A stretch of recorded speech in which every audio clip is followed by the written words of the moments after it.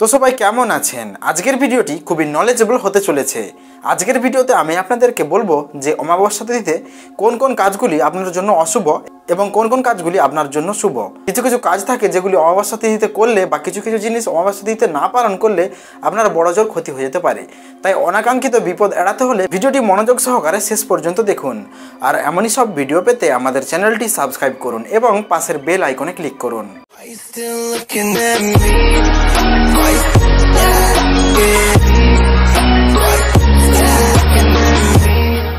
প্রতি এক মাস অন্তর অন্তর অমাবস্যা তিথি এসে যায়।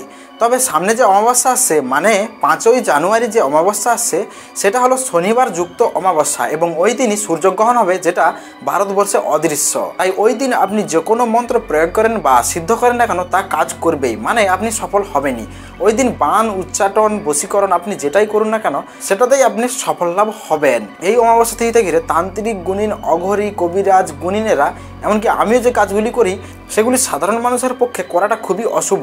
তাই যদি আপনি কোনো মন্ত্রতন্ত্র সিদ্ধ করতে চান বা কাউকে বান বশীকরণ ইত্যাদি করতে চান, তাহলে এই পাঁচই জানুয়ারি আপনার জন্য খুবই শক্তিশালী দিন। প্রতি মাসে যেমন অমাবস্যা তিথি আসে, সেরকম প্রতি অমাবস্যার দিন কিন্তু শনিবার দিন হয় না। এই সামনের পাঁচই জানুয়ারি যে অমাবস্যা আসছে, সেটা হলো শনিবার দিন। এই শনিবার দিন যদি আপনি পাঁঠা ছাগলের দড়ি চুরি করতে পারেন, পাঁঠা ছাগল যেটা হচ্ছে বলি দেওয়া হয় মন্দিরে কালী পুজোর সময়, সেই পাঁঠা ছাগল যে দড়ি দিয়ে বাঁধা হয়, সেটা যদি কাউকে না জানিয়ে চুরি করে আনতে পারেন এবং সেই দড়ি দিয়ে তাবিজ বানিয়ে যদি নিজে ধারণ করে থাকেন, তাহলে কোনো প্রকার বান, বশীকরণ আপনার উপর খাটবে না।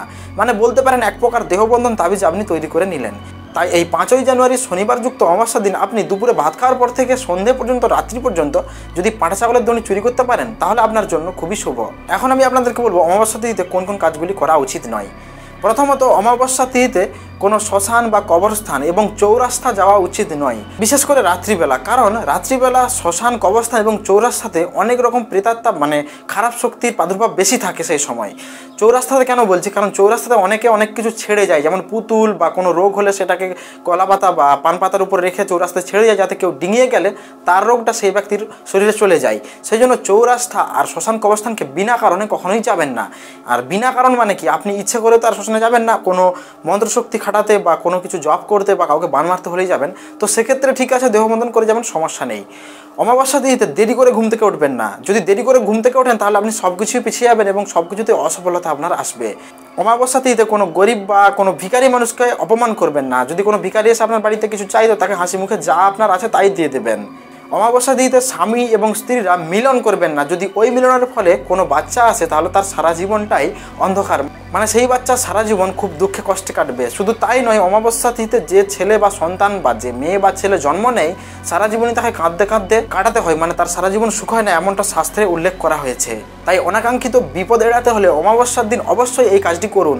আর প্রতিটি অমাবস্যায় আপনাকে এই সব অবলম্বন করে যেতে হবে। শুধুমাত্র এই শনি অমাবস্যার দিনই আপনি ছাগলের ধ্বনি চুরি করতে পারেন। কি ছাগল না পাঁঠা ছাগল মানে পুরুষ ছাগল যেটাকে বলছি। আপনি আমি বুঝাতে পারছি না হয়তো এই পাঁঠা ছাগলের নাম অন্যান্য জায়গায় অন্য কিছু হতে পারে, তবে এতটুকু জানবেন, যে ছাগল বলি দেওয়া হয় কালী পুজোর সময় বা অন্যান্য পুজোর সময় যখন হাঁড়ি কাটা থেকে যে ছাগলকে বলি দেওয়া হয়, সেই ছাগল যখন বাঁধা থাকবে, ওই সেদিন মানে ওই পাঁচই জানুয়ারি, শনিবার যুক্ত অমাবস্যার দিন, দুপুরে ভাত খাওয়ার পর থেকে সারা রাত্রি আপনি ওই ছাগলের দড়ি চুরি করে আনতে পারেন। যদি ছাগল দড়ি চুরি করার পর যদি যার ছাগল সে গালিগালাজ করে, তাহলে আরও ভালো।